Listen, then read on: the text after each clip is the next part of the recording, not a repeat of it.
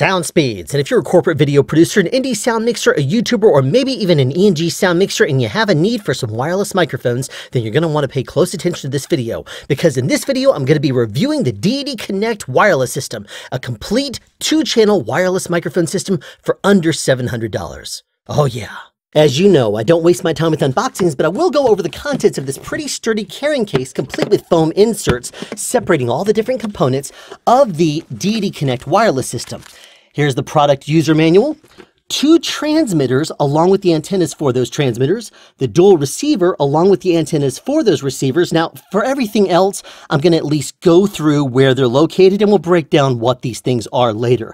There's a master slave cable right here, a cold shoe adapter, an update adapter, a TRS to TRS locking cable. There is two TRS locking to XLR cables, two USB-C charging cables, and two lavalier microphones. Let's get into this. The Deity Connect wireless microphone system operates in the 2.4 GHz Wi-Fi frequency range, which is completely separate from the UHF frequency range that most transmitters and receivers this day and age operate within. Typically between about 470 MHz and 608 MHz in the United States, those transmitters and receivers are not going to interfere with the Deity Connect system. Before we go any farther, full disclosure, Deity did send me this Connect system in exchange for a fair review. I do get to keep it after the review, and I'm not going to let that affect my opinion of the Deity Connect system, so you can expect this to be an honest review. First, the boring part. The product manual is indeed written in English as well as other languages, and it's very easy to follow even if you're new to wireless. There's also a service card that contains information about the two-year warranty that comes with the Connect system, what it covers and what it doesn't. Yay, this wireless system passed inspection. This is one of two BPTX transmitters that comes with the Deity Connect system, and this is the Duo RX, the dual receiver that comes with the Deity Connect system. Now, not only is this a transmitter and a receiver, but this is also a receiver and this is a transmitter. This is a dual True Diversity wireless microphone system that is fully digital and has encryption built in. Now, these two components actually wirelessly talk to each other. So not only is you able to send the transmission of data from this transmitter to this receiver, but this receiver is able to talk back to the transmitter. So you can make settings on either one of them and they talk to each other instantly and share that information. Both come with the same built-in rechargeable 2200 milliamp hour lithium ion battery, which is not user replaceable. So you'll have to send it back to the mothership if you ever need to replace them. The BPTX is made almost entirely of aluminum with exception of the sides and the top, which are made of plastic. But because of the raised lip, the aluminum protects the plastic quite effectively. The antenna at the top does not suffer the same antenna whip noise issues that some other transmitters do suffer from.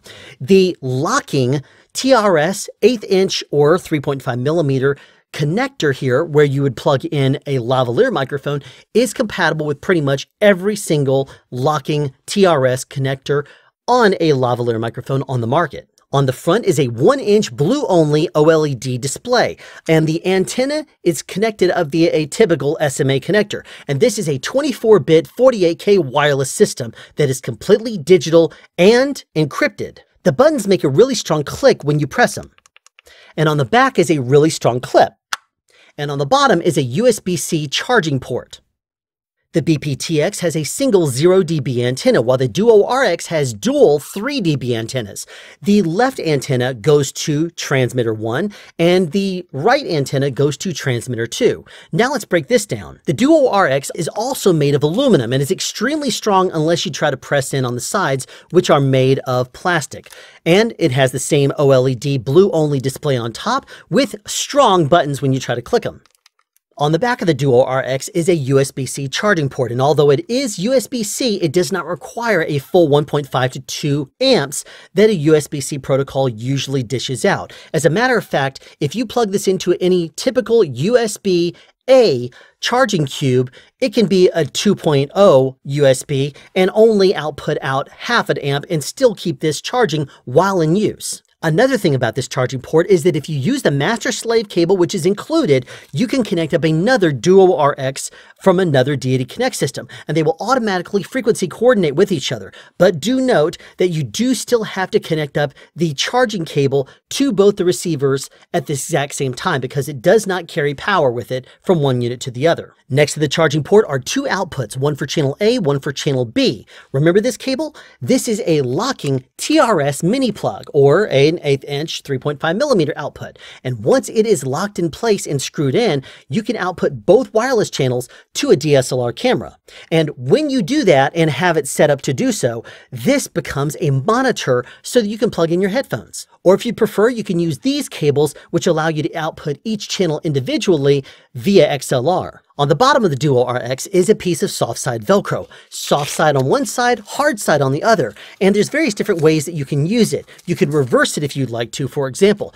Or the way I just did it, by wrapping it all the way around, if you have a second Connect system, you can stick them together and they're going to hold together by Velcro. It also helps you hold on to the inside of a bag.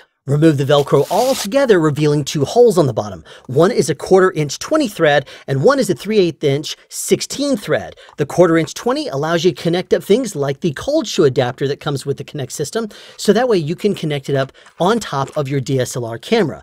As for this, it allows you to connect it up to something that is an audio component, like I guess a boom pole? Here's another interesting thing. Because the BPTX and the Duo RX have removable SMA style antennas, you can replace them with high gain models if you'd like to, such as anything that comes on a Wi-Fi wireless router. Or you can even connect up an extension cable and remote them up really, really high should you want to. The included Connect Lav looks very similar to a Sennheiser MKE Mark II lavalier microphone or a Deity VLav, except that this does not have the microprocessor like the VLav does, and the VLav does not have a locking eighth inch cable on it. Now, if you were to clip it like here, it's going to sound very similar to the VLav also, but I do want to point out that the metal little clip that holds it onto this particular clip. If you want to hide it underneath clothing, you have to remove it. And it's not exactly easy. You have to kind of go around and kind of pry the metal back. And when you do so, it kind of makes you feel like you're going to bend it out of whack. Like I said, it's not that easy. Ha! There it goes. The Deity Connect wireless system uses something called adaptive frequency hopping. You can read about it on the Deity Connect website, but here's the gist of it. At any given time, the Connect system is using nine different channels. That's four core channels that it uses constantly for audio and five trait channels that it's constantly using to scan and test other channels. And if one of those channels that it scans and tests is better than one of the core channels, it will automatically replace it. The Connect is also constantly hopping from one channel to another, and it sends one or two packets of information in a hop that is only about 1.5 milliseconds long. Because the system is constantly scanning, it's also planning up to the next 70 hops. And so once it sends one or two packets of data, it will go ahead and hop to the next clear frequency that it scanned. Deity's website goes into a technical explanation not only of how it finds the next frequency, but how it works effectively between two pulsing Wi-Fi channels. Now imagine this in layman's terms. Each of the pulsing channels on the Wi-Fi that would be closest to where it's actually working are highways. And what the Connect system does is it lane splits between the two of them. Because remember they're pulsing, what the Connect system will do is when this Wi-Fi is pulsing, it will pulse not in the same interval. Essentially, that's it. Now let's talk a moment about RF interference and packet loss. There's a lot of 2.4 gigahertz frequencies out there. 802.11b, G, N, all those wireless protocols that you're familiar with in the world of Wi-Fi are going to be competing with the Connect system in a very tight space. And the more Wi-Fi there is in the area, the more potential interference your Connect system could run into. Not to mention Bluetooth works in a 2.45 gigahertz range, which is very close to the Connect system as well. And some of that RF spray could also affect affected. So what happens if you happen to run into interference? If the RF in the area starts to exceed a certain threshold and you start to experience packet loss, like for example, this packet is lost from the transmitter and the receiver didn't catch it. What the Connect system will automatically do is in the next hop, it will not only send this audio information, it will send this audio information as well, allowing it to actually repair itself by sending that information a little bit later. But the cost of this is 19 milliseconds in delay, which is about half a frame on both NTSC and PAL video systems. And to give you an idea of what 19 milliseconds sounds like, Here is my hard-lined microphone that you typically hear me talk into. And here is a 19 millisecond delay on the Deity Connect system right now. This microphone is going to be in your left ear the connect system is going to be in your right ear. And as I talk right now, you're hearing the delay live that you experience when you're listening to your headphones on the connect system. Now I know what you're thinking. This is a little bit kind of confusing to hear. Well, that's because you're hearing an echo right now because you're hearing both of them. Now, if I'm talking live right next to you and you are listening to me through the Deity Connect wireless system, if I'm a few feet away, you're going to naturally make up that delay just from the air and the frequencies of my voice traveling through the air to get to your headphones. And that's not going to be as much of a delay if you're only about 20 or so feet away from your talent. So keep that in mind. So if you're using hardline microphones, like for example, a boom microphone, along with your wireless Deity Connect system, you're going to want to add a 19 millisecond delay to your hardline inputs. Or you could simply use your Deity Connect system along with a wireless microphone, such as the Deity VMic D3 Pro, and you are completely wireless and you don't have to worry about delay. Now let's do a walkthrough of the menu structure on both the BPTX body pack transmitter and the Duo RX dual receiver units, starting with this display screen. Note I'm only using one of the two transmitters right now, which is why the second transmitter here is listed as offline. I'm speaking directly into this transmitter right here, which is why you see the VU meter on the top left popping away as I speak. Same thing here. And to the right of that is the battery indicator. To the right of that is signal strength. And then if you notice here down at the bottom, it says user ID, mic 1, and mic 1 right here. So you can at a glance see the settings on the fly that are identical on both the transmitter and the receiver. Now let's go into the menu structure itself. Hitting menu right here, it has receiver up at the very, very top. Receiver being the Duo RX. And it also gives me control over the TX, transmitter 1, and transmitter 2, which it calls A and B right here. Now, auto lock, what is that? If I press select, I have various different selections from never, 5 seconds, 10, 15, 21 minute, 2 minutes, 5, and 10. There's nothing above that. And what that means is that if I choose, for example, 5 seconds and hit enter, and then I go back to my main screen, after 5 seconds, this screen is going to go dark and that is a battery saving feature. See right here? Now, instead of panicking if that happens and you've got to get back into your menu, all you do is you press up and down at the exact same time and it comes back on. Now, for our video here, I'm going to disable that so that it is no longer going to sleep. That way we can actually see our screen. System reset we're not going to use, and language we are set to English on, and we're not going to go any farther with that. Now, with regards to the transmitter, I'd like to point out something. I can adjust transmitter settings from the receiver as well. And part of that is because of the receiver and the transmitter are not actually just receivers and transmitters. They are both transceivers, capable of receiving and transmitting at the exact same time.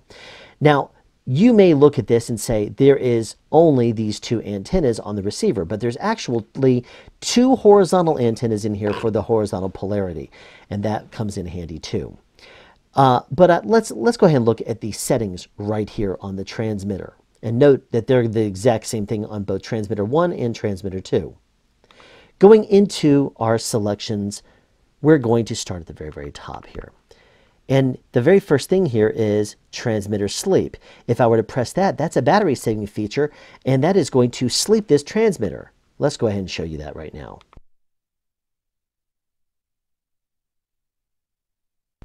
You can't hear my voice at all when the transmitter is slept. That's a battery saving feature where you can remotely sleep it and that comes in handy for saving battery life over time. Now the next thing here is mic level. If I were to adjust that on the fly, you're going to hear my level go up or down accordingly. And because I don't want to blow my meters here, I'm to go way down quietly. And notice it gets very, very loud all the way up to 36 dB. And it goes all the way down to negative 12 dB. Not all lav mics are created equally, so it comes in handy having that much gain either plus or minus in order to set your level correctly. You also have a limiter, which you should know what that is. And by setting it, it's going to help prevent clipping. Now, going back here, the next thing you're going to have is a low cut. And there's two settings on that, 75 hertz and 150 hertz. You also have what's called a frequency boost. That allows you to overcome things like heavy duty wind protection or chin shadow. And by going up like this, you notice that it starts to boost the highs in my voice. And I'm not going to use that in this particular video. I'm going to go back to 0 dB because I don't actually need it. And then the next setting is mute. Kind of like sleep, except that it simply just makes my voice go quiet as soon as I engage it. We don't need to do that. We want to actually hear my voice. And now RF level.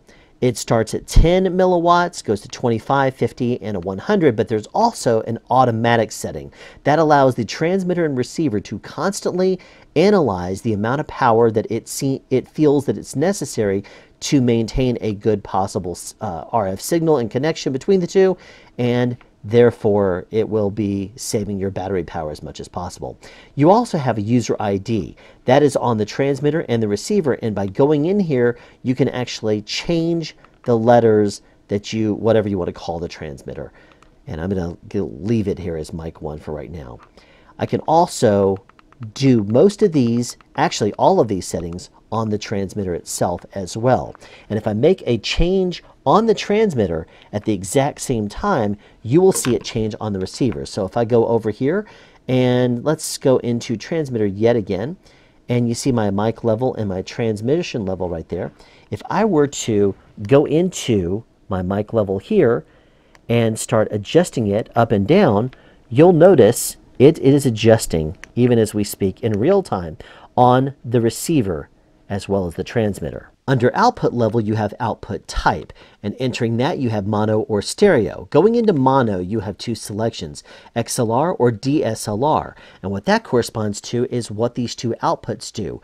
If set to XLR, then both A and B go straight to XLR outputs, and that would be for controlling mic 1 and mic 2 each of those having independent level. If it's set to DSLR, then you're only going to use the A output to go to your DSLR camera. Mic 1 will be on your left channel and mic 2 will be on your right channel. And as for the B output, that becomes a headphone monitoring jack, where your left ear is going to be your mic 1 and your right ear is mic 2. Going back into the receiver settings, we're going to go to output level. And notice that on A and B, I have it set to plus 15 dB. The reason why is because in my testing, I came to discover that the higher the output gain is, the better it is on the noise floor. Just check it out.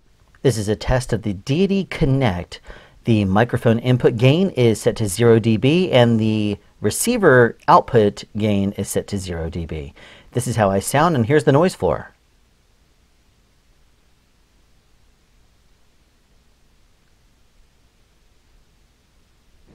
This is the Deity Connect. The microphone input gain is still set to 0 dB, but now the output level of the receiver is set to 15 dB, plus 15 dB. Here's the noise floor.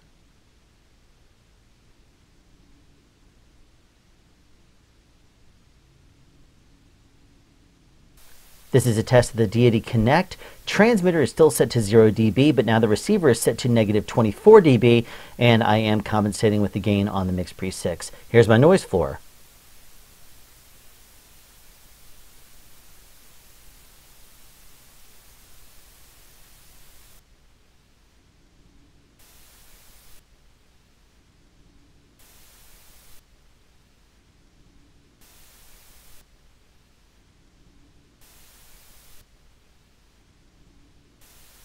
In the menu, you saw System Update, and here's how simple it is to actually update the Deity Connect system. If you go to deitymic.com forward slash firmware, you can download the latest Connect firmware, and it comes in a zip file. You simply unzip the file onto a USB memory stick that is formatted FAT32. Then you take the USB stick, insert inside the Connect Update adapter, and then take that adapter and stick it inside either the transmitter or the receiver. Then hit the select button and it will perform the update. When the system restarts, you can unplug the adapter because the update's been performed. This also factory resets everything, so in addition to repairing the transmitters and the receivers, you're going to have to go in and reset the user IDs and all your settings. But it's important to stay on top of this firmware. The reason why is, well, listen to the difference in noise between version 1 and version 1.1 firmware.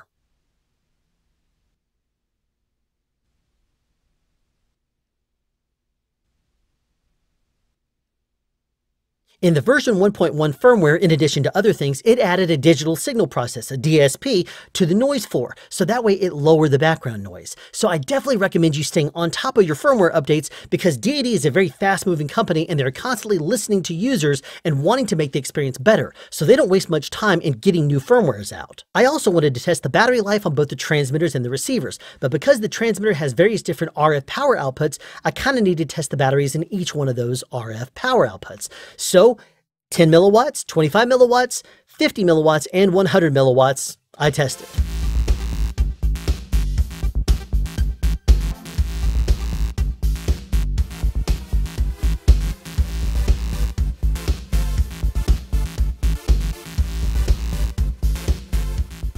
Please note that when the receiver died, the transmitters went into a low power mode until the receiver turned back on again, and then the test resumed. Here's the results of my battery test. The receivers did not last nearly as long as the transmitters, so if you want to continue to use your transmitters, you gotta connect up some sort of an external power supply to the receivers, and if it's in a bag, it shouldn't be that big of a deal. With regards to transmitter RF power output levels, I ran into some kind of interesting results the transmitter seemed to actually last longer on battery when it was at a higher power output. I don't really understand why, but it, that was my result. With the transmitters dead, I thought it was a perfect opportunity to see how long it would take to fully charge up the transmitters. Because on the Deity website and in the product manual, it says that the transmitters can recharge in about 70 minutes. And that's on a rapid charger. I did connect it up to a rapid fast charger, and here are my results.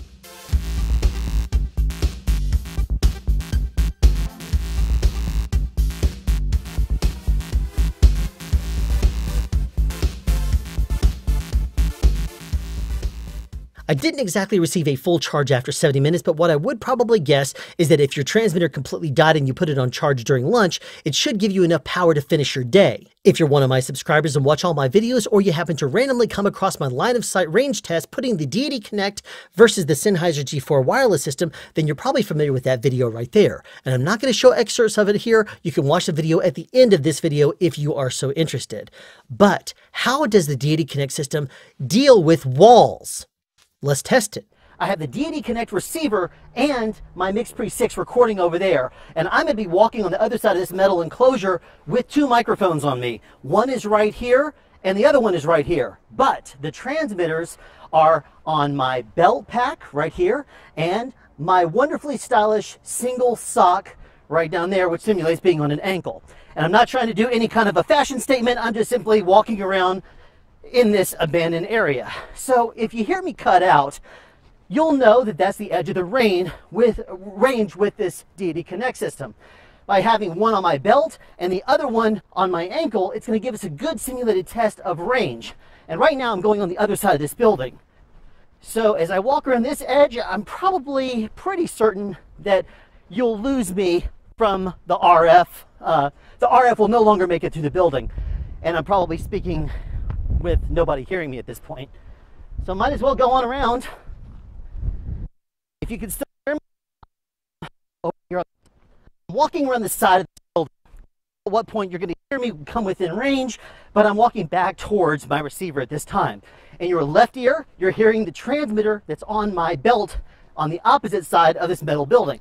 With your right ear, you're hearing the transmitter that's on my ankle, which of course simulates a transmitter on the ankle. I'm walking back toward the receiver, and at whatever time you hear me pop in range, you're to say, oh, I know. That's obviously where the range ends on this particular test.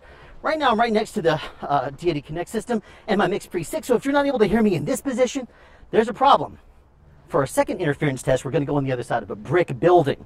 Notice there's a little bitty wall right here, so not only are we going to be going through this wall and this wall with this range test, we're going to be going through that third wall after about another 10 feet or so. My transmitter, uh, the, the one that's on my belt, is on the opposite side of my body, actually through my body to get to the transmitter. And as I look around here, you'll quickly see the range now, before left is the transmitter. Two things and enclosures. One where the transmitter on the belt is facing the receiver, and one where it's firing through through, uh, through my body, one where it's not. So sorry, I just botched my words, but I think you got the, the general idea. But here I am back in front of the receiver, and I know I have RF here. I'm in a parking lot now full of cars, so I'm going to try not to speak too loudly because I don't want to embarrass my daughter who's riding shotgun in the car that you're now looking through. But I'm walking amongst a whole bunch of metal cars, still with the same transmitter on my belt pack, which is in your left ear, and the ankle pack, which is on the right ear. And if you can hear me right now, we're probably firing through about vehicles. Let me see, one, two, three, four, five, six, seven, eight. We're approaching nine, and at this point, probably around about eight feet away from the car And probably three vehicles is what you're hearing through right now. And it's firing through the body at this point, going back toward the receiver. Oh, and by the way, it's also firing through my car because it's on the inside. On the bottom, underneath the dash, uh, sitting in my daughter's lap. So there you have it, firing through multiple vehicles out here. Layer upon layer of metal and brick is going to be very difficult for any wireless system to punch through. And doesn't matter what frequency range, it's going to be more difficult for your transmitter to talk to your receiver and vice versa. And because this Deity Connect works in 2.4 gigahertz, that's a higher frequency. And typically higher frequencies have a more difficult time to get through thicker substances. But I found that in my house, in basically any kind of environment that I tested it in, when I wasn't putting it through a whole bunch of hard surfaces, it didn't really give me that many issues. I actually had pretty good range with it. Because I'm sure inquiring minds are going to want to know, I'm going to do one more field test. This is a Deity BPTX in perfect working order and conditions. Notice no blemishes, no scratches, no anything wrong with it. Okay? Now, let me ask you this. How many times have you put a transmitter on someone, like an actor or talent, only to find that they destroy it? That happens quite often. As a matter of fact, we don't like that to happen, but it does happen. Something will fall off of an ankle strap and fall and scrape all over the ground. And that's a terrible thing for us because this is our gear. Now, ever since I did my review of the Deity S-Mic 2 and attempted to destroy it, people have been asking me to field test some more Deity products. Well, I figured there's nothing better than testing a transmitter to see how durable it is. So reluctantly, I'm going to ask you to not cringe while you watch this. I'm walking, I'm an actor, and suddenly, oh, this transmitter has fallen out of my ankle strap. Okay, that's bad, but it seems to be working.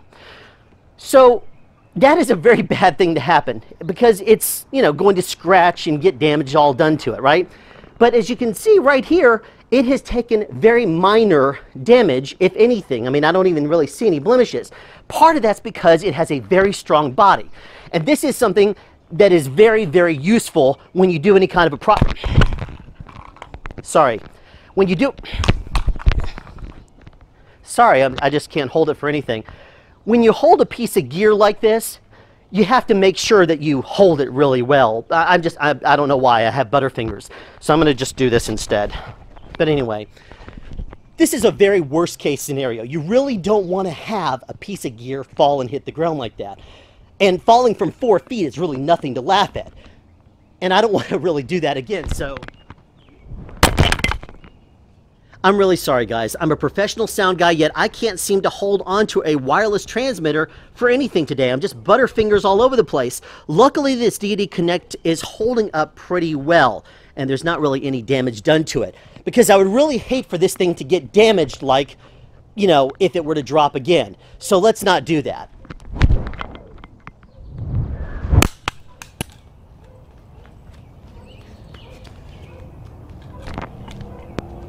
Dad, did you mean for that to happen? No, sweetie, I've been very careless today and accidentally doing things like that quite a bit. After reviewing the footage from that terrible accidental fall, I did come to realize that this BPTX is still working great, except the connector at the very, very top is slightly loose. Check this out. If I go like that, it's suddenly not working. But if I press this way, it suddenly comes right back on again. So that seems to be a very, very minor little fix that Deity would probably be able to fix if you didn't want to take the thing apart and try to fix it yourself. So after concluding this drop test, I did reach out to Deity and asked them how much would the repair of this transmitter cost. And they told me $25. So for $25, I could get a fully working transmitter that took all that punishment and it would be in perfect working order again. So what do I think of the Deity Connect system? Well, let's get into it. I love the solid build quality. Despite all the punishment I put the transmitter through, it did not really show any signs of damage despite the fact that I threw it way up in the sky. And I also like the fact that the receiver is able to both charge and function off of only USB 2.0 0.5 amps. That's really impressive. I love how simple the menu structure is. It's very easy to navigate to exactly what you want it to and make adjustments accordingly.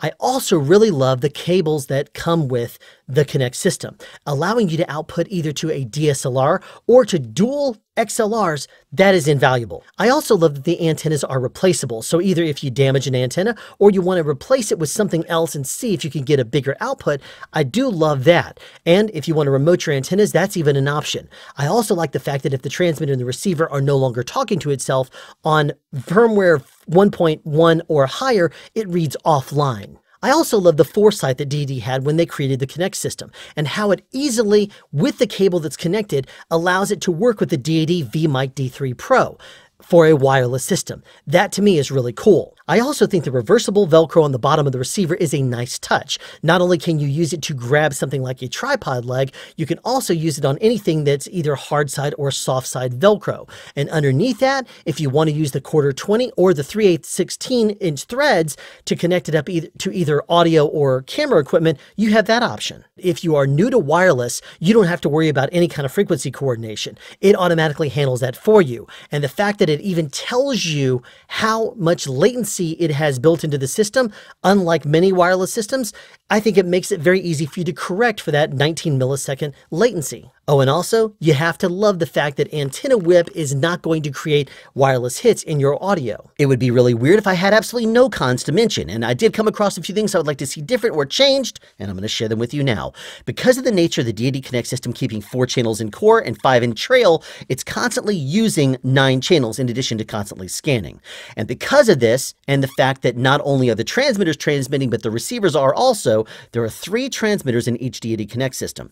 And therefore, Deity itself does not recommend you using more than two Connect systems in a master-slave relationship because you start using too many channels in the wireless spectrum and you start having issues with interference. Therefore, four transmitters is the maximum amount of transmitters Deity recommends that you use in a Deity Connect system.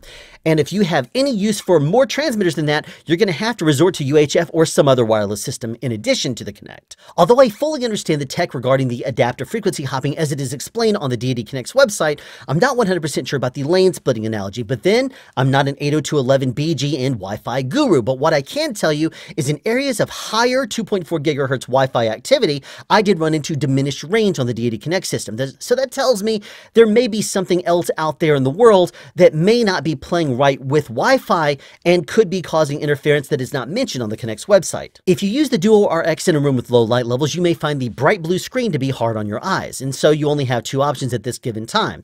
Either leave it on and deal with it, or you can allow it to power off and then you can't monitor your Wi-Fi.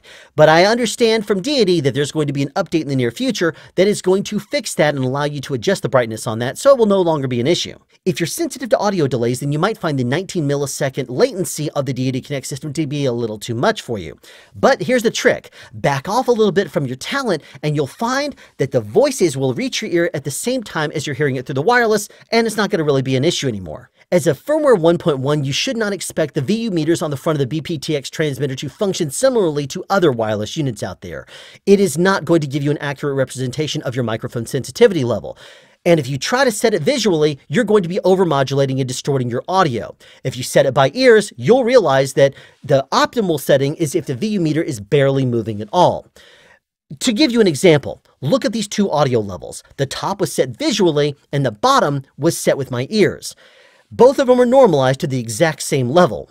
And you tell me which one looks healthier. I really wish you could remove the battery on the inside of the transmitters, but because that's not an option, they do kind of give you a workaround, which is if the transmitter dies, put it on charge during lunch and give it about half an hour and it should give you enough charge to finish your day. So there is that. Although I love the fact that the limiters on the Connect system are analog, I do recommend playing a little on the cautious side when you're setting your microphone sensitivity levels. If your actors get a little bit too hot and your levels are up too high, it can cause clipping and that makes a little bit of a distortion sound. But then there is an easy fix. Go into the receiver and back off on your microphone sensitivity level. So I guess it's a workaround. If you're using the Connect system in an extremely quiet room, then you may notice the self noise. But then this is not a $5,000 wireless microphone system, is it? But there's a couple of things you need to check. Number one, are you operating in firmware 1.1 or higher on both the transmitters and receivers? Number two, is your output level on your receiver set to its maximum setting? If so, you're going to get the minimal amount of self noise that I have found to be in the system, but definitely run your own test to verify. Now to nitpicky things. If you're recording and your receiver is too close to your transmitters and you need to make some sort of an adjustment, the loud clicks on the receiver may be picked up by your transmitters. So I wish that those were actually muted. The second thing is it does give you two charging cables on the inside of the Connect system, but I wish that there was a cube or something that allowed you to plug it up to a wall and charge two things simultaneously. But those things are very minor. Keep in mind that I am a professional sound guy, so I can be very demanding and critical of a wireless system. But don't let that steer you away from the Deity Connect system because it is extremely innovative. The tech behind it is absolutely amazing, and I believe it to be the best in class. Sub $700, this system is two transmitters and a dual receiver complete with a bunch of accessories for $669. There are links down in the description if you'd like to check it out, and I highly recommend you to do so because I'll tell you this, I'm going to be using this Connect system for quite a few of my videos in the future. I'm very interested to hear what your opinions are of the Deity Connect system. Please write them in the comment section down below. But in the meantime, thanks for tuning into this episode of SoundSpeeds and be sure to tune in the future for more product reviews, fun stuff, maybe with wireless and sound advice. Have a question you'd like answered or want to add something? Be sure to write it in the comment section down below. You can also make a suggestion for future topics of discussion. Again, comment section down below or you can email me at soundspeeds at yahoo.com. Be sure to subscribe and turn on notifications so you won't miss out on future sound advice.